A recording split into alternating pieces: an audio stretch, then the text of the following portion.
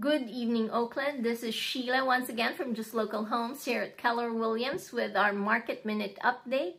Today, in Oakland 94611, there are 30 single family homes that are for sale.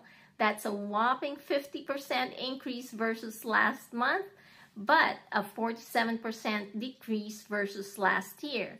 Inventory continues to be a challenge, more so in the 94611 market. The median list price is at 1.285.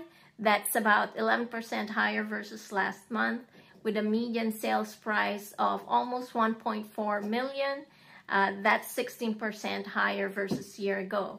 Now, if you're a home buyer, you should be comparing the median list price versus the median sales price. And if you're looking to buy a home at 94611, expect to pay 8.5% higher versus asking. Now, if you're a home seller, the market is giving us right now 16% more for your home versus last year. That's a good number. It's time to start a conversation if you are looking to put your home up in the market. With that, I'll see you again next week.